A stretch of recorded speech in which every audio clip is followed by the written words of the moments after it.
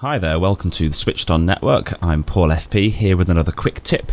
Uh, today, this one's one for the video editors out there, and it's if you run into this particularly annoying problem when trying to export a project from Adobe Premiere Pro, where you see this message error compiling movie. You get a GPU render error because it says it's unable to process a frame, and you'll see down the bottom here that um, it's the rendering effect, uh, the Adobe Lumetri effect, which is apparently causing the issue.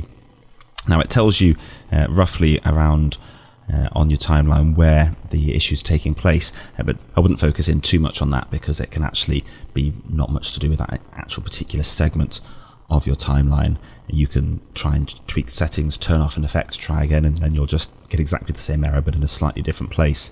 Now, this uh, this problem has been going on for a little while. Uh, if you have a look over here uh, on the Adobe forums, uh, June 2017, this quite long thread started, and it seems that quite a lot of people have been having these problems.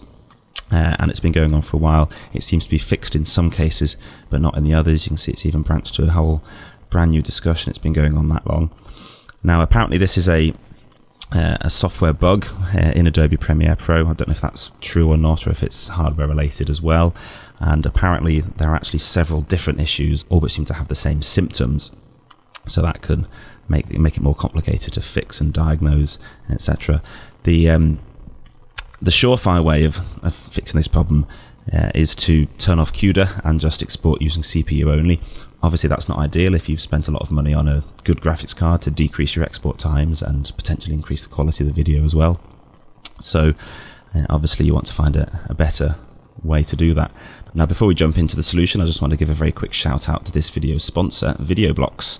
Uh, VideoBlocks is a stock footage website where you pay a single annual membership fee and then you can download as much as you like from their catalogue of video footage and After Effects templates. Everything you download is yours to keep forever and it's for use royalty free in any of your projects going forward. You've got things like video footage from all these different categories here, um, motion backgrounds which are handy for green screen stuff and there's also lots of After Effects templates uh, to give a really uh, tweaked and professional look to all of your footage.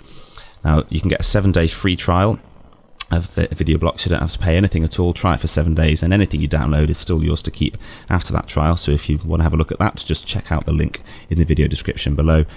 Sign up for your free trial and you'll be supporting this channel as well now I'll just show you the actual bit on the timeline where this is uh, playing up so it's at 10 55 and 14 frames so if I go to there, uh, 55, it's this sort of bit here that goes from there where uh, stone. You deserve it.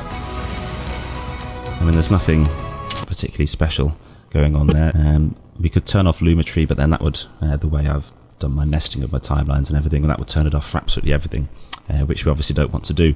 So I'm going to show you what works for me. It might not work for you because it might be something completely different causing the error for you, but uh, the thing that worked for me was simply create a new sequence and copy and paste everything into that and then export again. So to do that, it's obviously dead easy. Uh, just go to File, New Sequence, and select one with uh, the right settings. Uh, this was recorded on a DSLR, 1080p, 25 frames a second. I'll call this uh, New Attempt. There we are. OK on there then what you want to do is go into your sequence that's giving you grief, uh, do uh, Control A and then Control V to select, then go into new attempt there. Make sure uh, you're right at the very beginning of the sequence, Control V to paste, and then you've got a brand new sequence, uh, most of which it reckons is still rendered. Uh, if you still have issues after this, I can show you something else as well which might work. Um, but then if you try and export that, then it, it should work. One thing to point out if you're doing this though is listen to the uh, the balance of the audio tracks on here.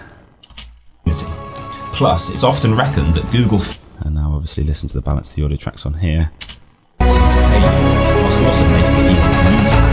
So you're obviously going to need to, to remix your audio and set your levels again. Just copy them over from your other sequence. Obviously, then just go to File, Export Media. Export it using uh, the same preset you were using before and that should work for you. Now if that doesn't work what you might want to try is obviously reboot the computer because that always uh, is always worth a go. If you try turning it off and on again? It's the oldest joke in the book but it does work. What you can also do is uh, delete all the render preview files and try making them again in case that helps. Um, sometimes it does, sometimes it doesn't, uh, and that does depend really on whether you're using the previews when you export as well. Uh, but I'll show you how to do that if you're not sure. So You go up to Sequence and then Delete Render Files. You can either um, delete just into out, so if you're just doing a little section, or you can delete the render files for the whole thing there. I'm not going to do that now, but um, uh, if you do that, then re-render your whole timeline and then export. That might solve your problem and it might stop you tearing your hair out. It might not though, but hopefully uh, it works for me, so it might work for you. Uh, so that's it. I hope you found this video useful. If you have, please give it a thumbs up and leave me a comment below to let me know it's been handy. And whilst you're here, don't forget to subscribe to the Switched On Network to get all our videos as soon as they go live. We're going to be doing lots more quick tips just like this one. And you can also have a look at some of our other videos that are on screen now. So thanks for watching.